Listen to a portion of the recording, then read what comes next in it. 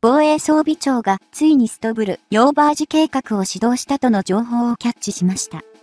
今回は、このストブル・ヨーバージ計画、橋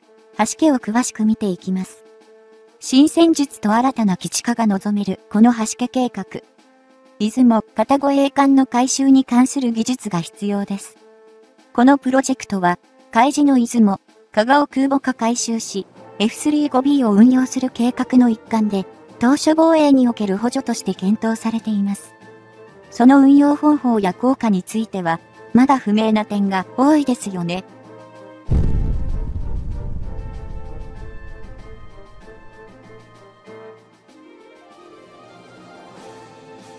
2023年5月、防衛装備庁は、ストブルヨーバージ、橋家の整備に関する調査研究についての募集要項を公示しました。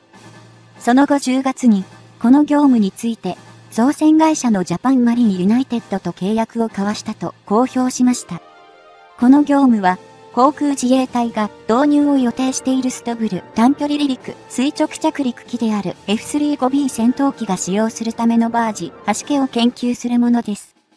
防衛装備庁は、この業務に関しては、海自のいずも型護衛艦の特別改修に関する知識、技術が必要不可欠という前提条件を示していました。ところが、この条件に合う必要な知識や技術を持つ企業はジャパンマリンユナイテッド1社だけでした。そして、応募者も同社だけだったので、当然の茂行として選定したということです。だったら、わざわざ募集する必要があったんでしょうか？と思ってしまいますよね。この会社しかないのは分かっていたはずですよね。なのに、あえて募集するというのは、ちょっと邪推してしまいます。防衛省は、現在、海上自衛隊のヘリコプター搭載護衛艦出雲、加賀の2隻を F35B 戦闘機を運用するために空母化改修工事を進めています。この F35B は滑走路が短い離島の空港やヘリポートなどでも使用可能です。現時点ではバージとストブル機をどういう形で組み合わせて運用するのかは不明です。F35B は画期的な新戦闘機ですから、最大限有効活用するため進めている調査研究は、今後どのように進捗していくか、その動向が注目されているのです。ここで F35B について詳しく知っている人たちの意見を見てみましょう。出雲、ヤカガが運用と言えるほどのスペックを持っているかどうかは不明。せいぜい、給油とミサイルの搭載、軽整備ができるくらいのレベルじゃないのか。空母っていうより、離れ着艦可能艦っていう名前の方が実態に合ってると思うよ。大体国外で使用することは想定してないから、それで十分でしょ。となると、橋家足すアルファで運用するのも悪くないよね。当初防衛の補助が主要任務になるんだろうし、前もって、橋家を重要箇所に置いておくのは合理的かも。外事は出雲、型やヒューが、型を統合運用に差し出すつもりはないだろう。自分たちの主力である、護衛隊軍は、しっかり手元にキープしつつ、統合運用向けには、総海隊軍を療養戦部隊に指定して、これで人気は切ったという認識なんだろうね。F35B 戦闘機やヘリは自前で運用してくれと通告したらしいぞ。海事側は、機動運用艦隊になる護衛隊軍を狭い海域の当初防衛に貼り付けるのは、愚策と思ってる嫌いが感じられた。要するに乗り気じゃなかったんだよ。F35B に期待している役割もそれぞれ違う。空自は本土防空だし、海自は艦隊防空だから、見事に同床異夢ってこと。将来的に、海自は自前の戦闘機所有に動くだろうよ。見てる景色が違うんだから、運用法でまとまるはずないよね。当初防衛の時に臨時の発着拠点や中継ポイントとして使うのかも。F35B の弱点は航続距離だから、その短さを補うためとしても、出雲やカバを敵の矢面に立たせるわけにはいかないから、橋けたす軌道修艇のセットに燃料や整備品を乗せて、連携での運用を考えてるのかもよ。本州から 1800km も離れている南鳥島、沖縄本島からさらに 400km 離れている南大東島のような離れ島に F35B が使用できるように基地を作ることは費用対効果を考えると現実的じゃない。材料の運搬費用に人件費をかける余裕は今の日本にはない。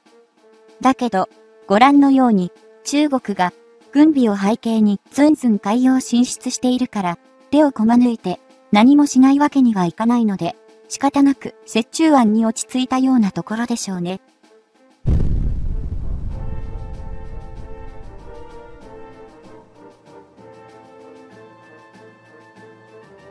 出雲、香川、この2隻しかないから、ずっと中国艦隊に張り付いていたら、他の任務に対応できなくて、支障が出てくることもあり得るよね。そういったことになった場合の緊急避難みたいな使い方をするんじゃないかな。F35B 戦闘機なら小さいフロートでも行けるよね。先島諸島や東シナ海に複数浮かべておいたら意外と大きな戦力になるんじゃないかな。問題は那覇、嘉手納基地のようにミサイルの集中攻撃を受けるって想定されることだ。護衛用のフロートも作らなきゃならないんじゃないか。レーダーだけじゃなく、中 SAM 改め、ブースターもつけて、長射程版と武器を盛り盛りで守るのかな？いっそ、イージス・ワショアもフロートに乗っけたらいいんじゃないか。前首相の地元のように、地盤の心配をする必要もなくなるし、F35B を DDH ヘリコプター搭載護衛艦に配備するのは、基本的には艦隊防空のため。わかりやすく言えば、太平洋戦争時の冷戦の役目を期待しているってこと。確かに海地が求めてるのはそういう役割だろうけど、航空自衛隊の F35 は海上自衛隊のコマじゃないので、従わないだろう。空自の役割は一貫して本土防空。演習しても、艦隊防空の確約はないから、適宜柔軟に対応するだけに止まっている状態。これのおかげで、逆説的に、海地がじまいの戦闘機を欲しがる動機になってしまったってこと。艦隊防空と本土防空のどちらを選択するかとなった時に、どっちを優先するかという極論でしょう。F35B の運用艦は出雲、加賀の2隻しかない。だから、揚陸作戦に出雲、型を回す余裕は全然ない。海事は、自前で F35B を運用できる体制を作ってくれということか。出雲、型はもともと軌道運用だったから、海事は当初防衛という狭い海域での統合運用には差し出したくなかった。これは予想通りだろう。F35B は、海おのずと空自では、求める役割が全く異なる。つまり、運用が、歪なものになるんじゃないか。第二次世界大戦の時のドイツ空軍と海軍の関係が一番当てはまるかな。大型輸送艦が不足しているので、民間 RORO 船が陸自輸送の主力になるだろう。浮橋や橋家で沖合の RORO 船から離島を結ぶことも視野に入れているから、橋家もその一環になる。要するに伊豆も型が回されないのなら、ヘリの運用も橋家でしなければならないわけだ。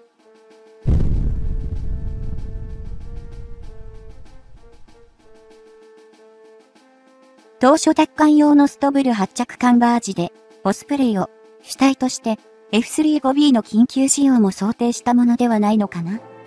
加賀や出雲が艦載機を持つわけがないでしょ。動く橋家で有事の海の止まり木になるのかな？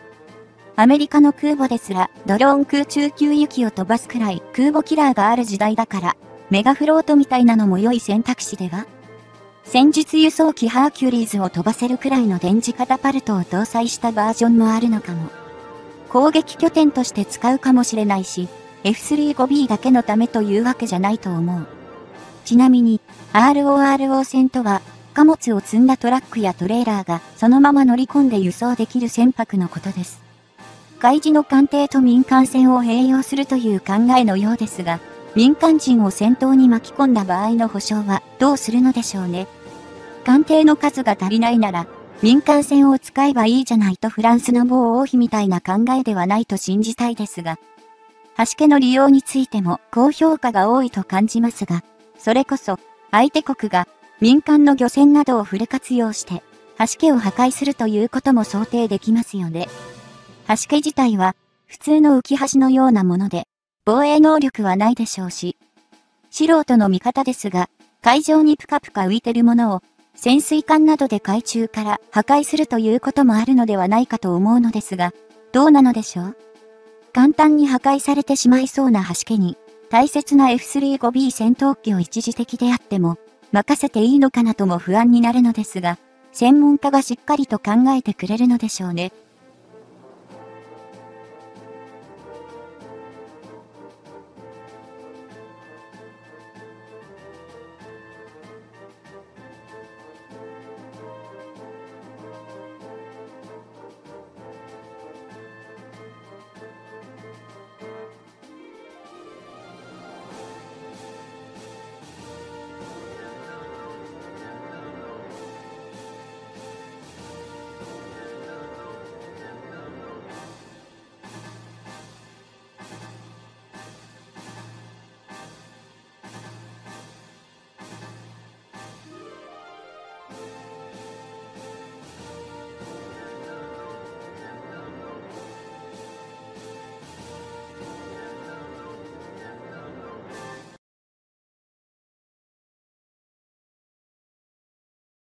日本ついに US2 でも協業との情報をキャッチしまいた。今回は、この US2 製造会社、新明和工業とイギリスのアイラリス社の提携を詳しく見ていきますね。F3 戦闘機開発に続き、イギリスとの連携強化は、日本も今までよりも本気になったのかもしれません。日本の技術は最高ですが、コックピット周りが全くダメなので、これで戦闘機開発で復活かな。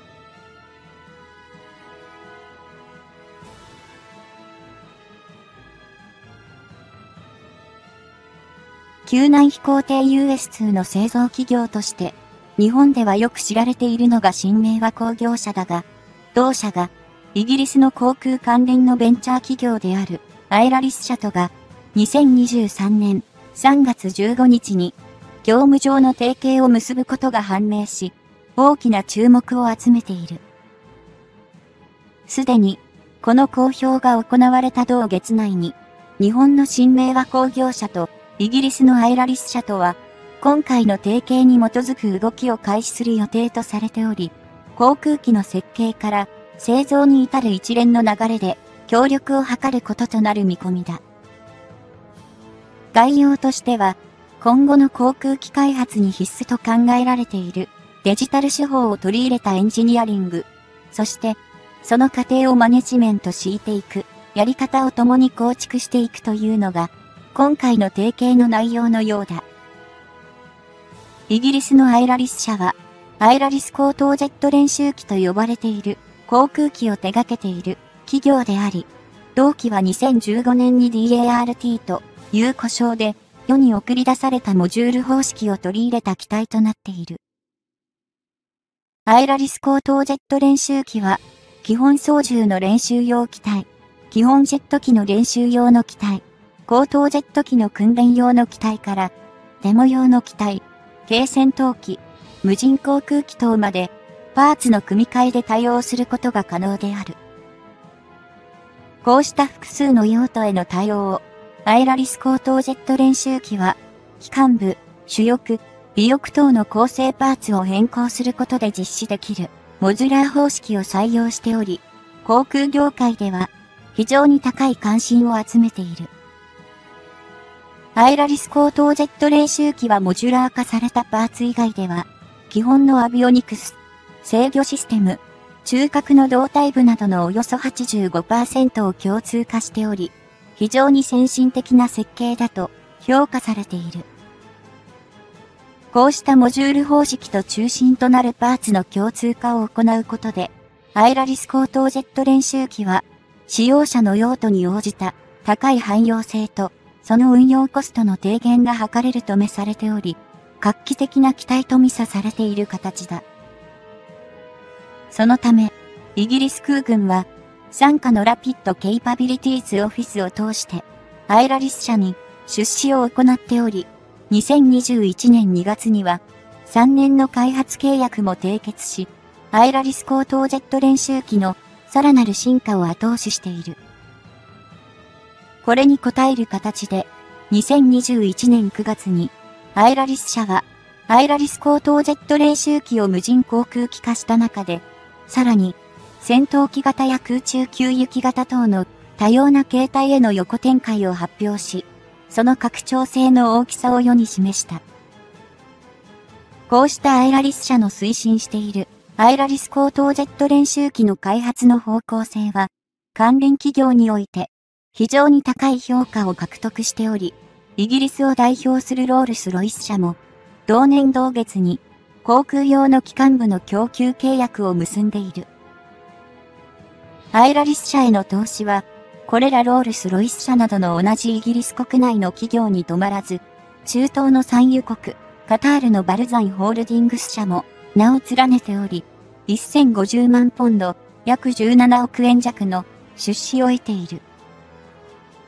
これもあってか、アイラリス社は2022年3月にカタールで行われた展示会で、アイラリス高等ジェット練習機の実物大模型2機を送り込んで展示しており、バルザイホールディングス社は、元より、同国のシャイフタミーム・ビン・ハマド・アール・サーニー首長も姿を見せた。アイラリス社の将来性には、軍需航空企業の大手も期待しているため、本国の BAE システムズ社、さらには、アメリカのボーイング社も出資を行っている状態であり、世界のジェット練習機市場に新たな潮流を巻き起こす可能性が高い。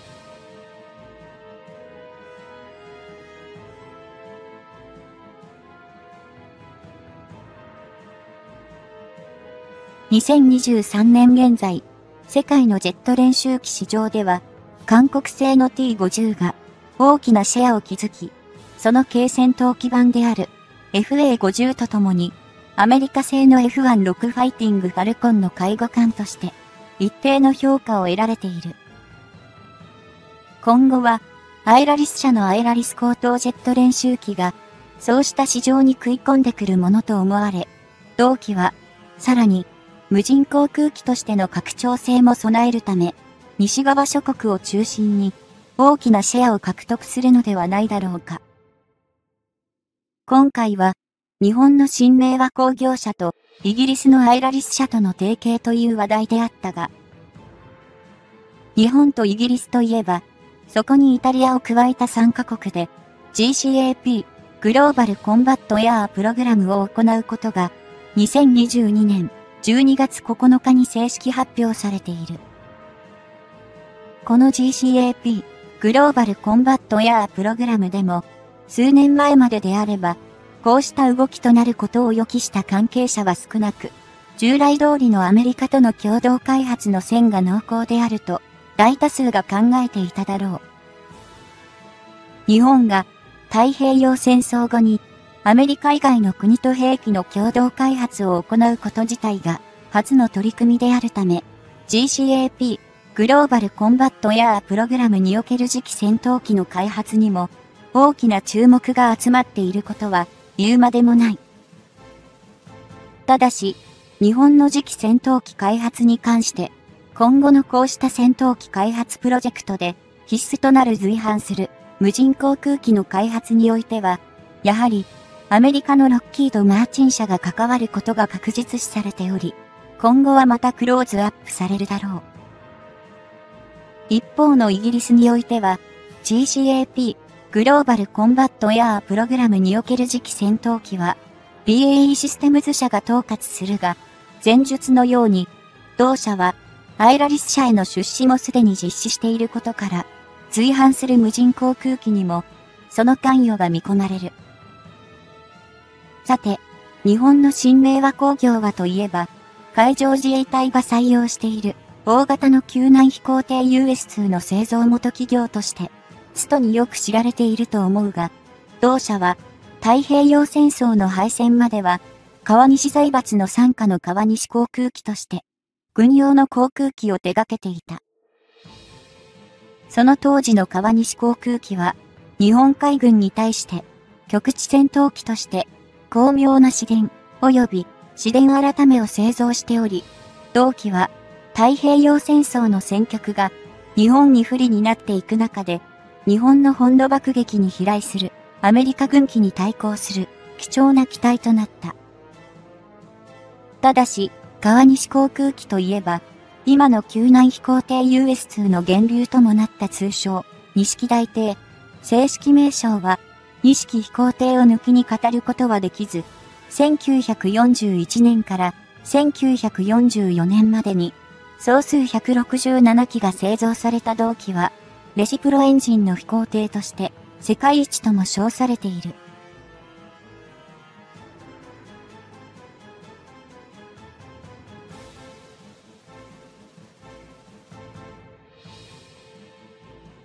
機体が大型であるにもかかわらず、4機のレシプロエンジンを搭載し、速度面に優れ、かつ、20ミリの旋回式機15門を固定武装に備えていた、錦飛行艇は、1942年3月には、2機で、ハワイへの空爆を行う計作戦にも使用された。この計作戦では、錦飛行艇は、大きな戦果を上げることはできなかったが、その後続性能を活かして実施された作戦となり、アメリカをはじめとする連合国側の兵士たちからは、フォーミダブルを呼ばれ恐れられたという逸話が語り継がれている。その逸話を象徴するか、農用に、錦飛行艇は、1943年11月には、アメリカ軍の戦闘機 B38 ライトニング3機と空中戦を行い、内1機を撃墜。また、後には、同軍の大型爆撃機の B17 や B25 を撃墜した武勇伝も記録されている。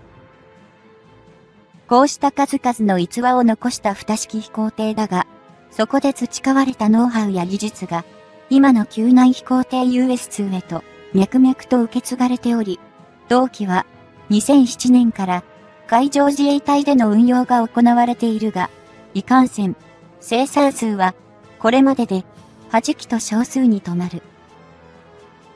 救難飛行艇 US2 は、海上自衛隊に採用されているのみであり、そうした限定ゆえに、生産数が少ないことから、1機あたりの取得コストも、およそ100億円と高額であり、2011年以降は、海外への輸出にも力を入れているが、現時点で確定した取引はない。一時期は、救難飛行艇 US2 は、輸出先として、インドに、輸出、ライセンス生産の総数15機という取引が、盛んに取り沙汰されたこともあったが、やはり、コストが高いことが、最大のネックとなったようで、その後の進展も聞かれなくなっている。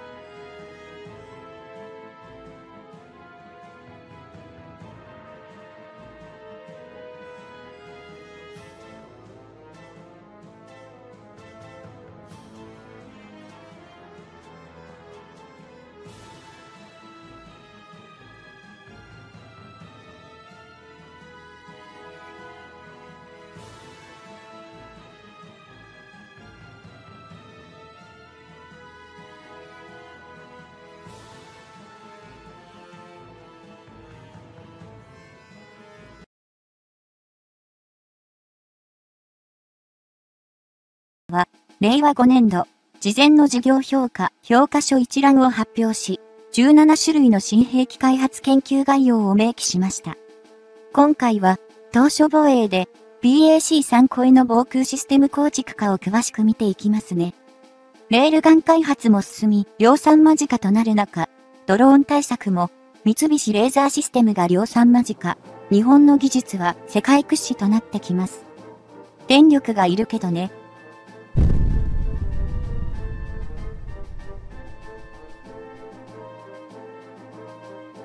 防衛省が令和5年度事前の事業評価評価書一覧なる文書を発表したのは9月8日のことでした。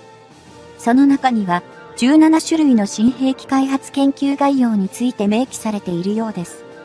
その中の新地対艦地対地精密誘導弾ですが、1週間ほど前の8月31日に提出された来年度防衛予算の概算要求に入ってはいましたが、8月時点での詳しい説明はありませんでした。ただ載せただけといった感じだったようですね。そういった前提があったので、概算要求の主要事項で入れ替わりになった当初防衛用心対艦誘導弾の名前を変えたものではないかと推理する人が多かったようです。つまり、物は同じなのに、別の名前で要求して予算をゲットするつもりだろうと推理した人が多かったということですね。政府のやり方がかなり国民に知られてきているという証明かもしれません。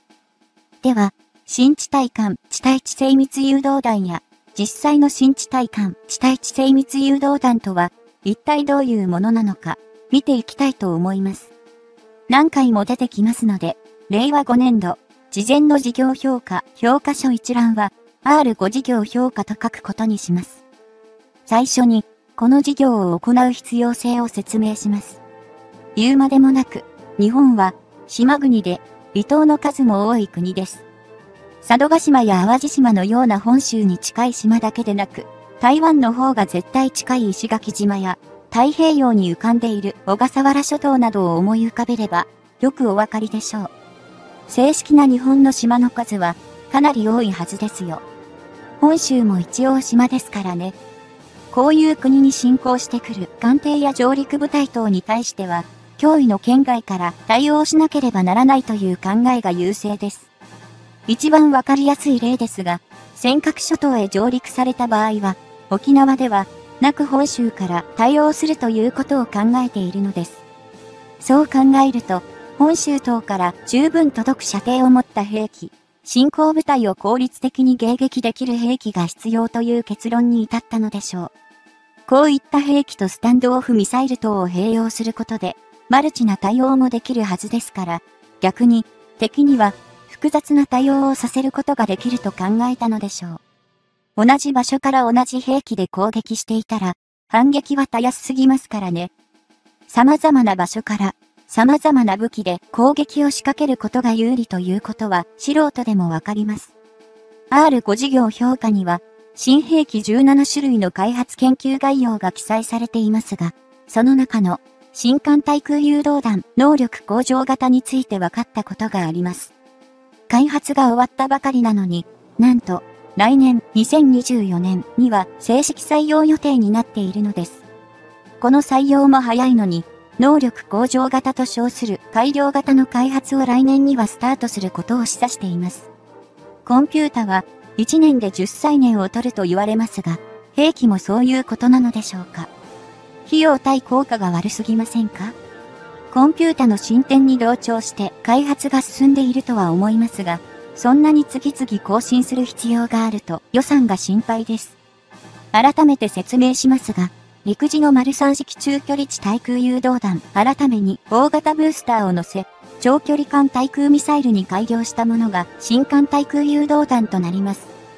このミサイルには、横方向に動かすための動力装置、サイドスラスター、再度、スラストアーを追加する予定だそうです。つまり、パトリオット防空システムパック3のように、特殊な迎撃ミサイルに進化させる計画でしょう。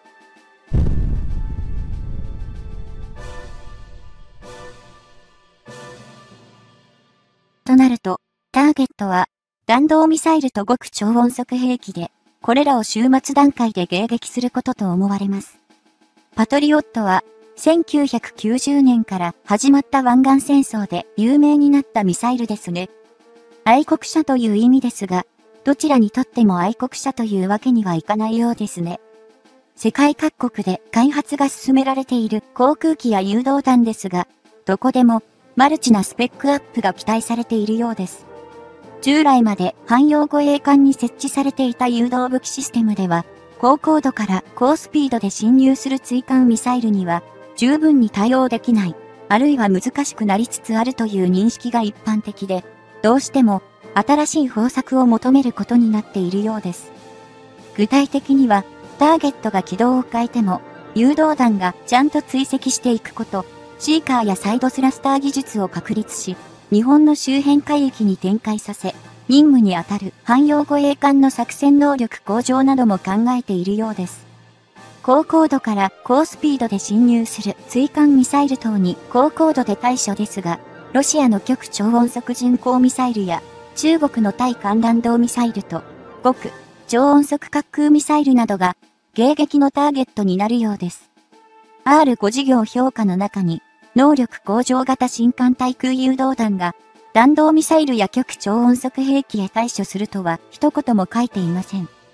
しかし、高高度から高スピードで侵入する追艦ミサイル等とは、こういったミサイルに間違いないでしょう。わざわざ名前を挙げなくても、名指ししたのと同じです。高高度では空気の密度が薄いので、空力操舵では細かい操作がやりがたくなるので、サイドスラスターを使用して高い機動性を維持し、高高度から落ちてくる弾道ミサイルや極超音速兵器を終末防御するという計画なのでしょう。前述の通り、新艦対空誘導弾とは、陸自の03式中距離地対空誘導弾、改めに大型ブースターを付加して長距離艦対空ミサイルに改良したものです。そして、改良型の新艦対空誘導弾、能力向上型はサイドスラスター装備と明記されました。となると、丸3式中距離地対空誘導弾、改めの改良型である、03式中距離地対空誘導弾、改め能力向上もサイドスラスター装備と考えていいのではないでしょうか。丸3式改めや能力向上新規分は、果たして、どんなフォルムや仕様になるのか、現状では、全く情報は入ってきません。仮に、アメリカのパトリオット防空システムの PAC2 GEMT のようなものだとしたら、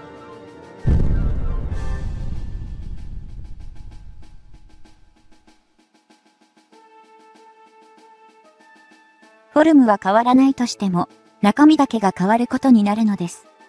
また、PAC3 のようにサイドスラスターを備えた全く別物のミサイルだと仮定すれば、予定されている開発期間ではあまりにも短すぎるのではと心配していたのですが、幸いなことに、この予想は外れたようです。丸三式中ザム、改め能力向上新規研究開発分が完了する2028年、令和10年には、新艦対空誘導弾能力向上型のテストがスタートし、2031年、令和13年には開発完了の予定になっているようです。本当に進み方が早いですね。国民生活に直結している食料問題や資源問題については腰が重いのに、兵器に関してはアメリカからの要求があるから動きが早いのかな？と邪推してみたり、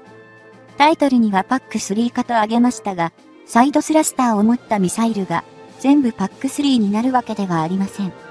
サイドスラスターには大量の小型固体燃料ロケットを持つもの、 PAC3型とシャッターをつけて側面噴射をオンオフさせるもの、アスター型の2種類があります。アスターは花の名前ですが、政府の支援を受けたフランス企業が製造した対空ミサイルです。人間を攻撃する者に人間を揺やしてくれる花の名前を付けるとはなんともグロテスクだなぁと感じるのは筆者だけでしょうか。さて、丸三式中ザム、改め系統へもサイドスラスターを装備させるそうですが、どちらになるのでしょうかね。アスターのサイドスラスターには、噴射穴が4つあって、シャッターで開閉して噴射をコントロールしています。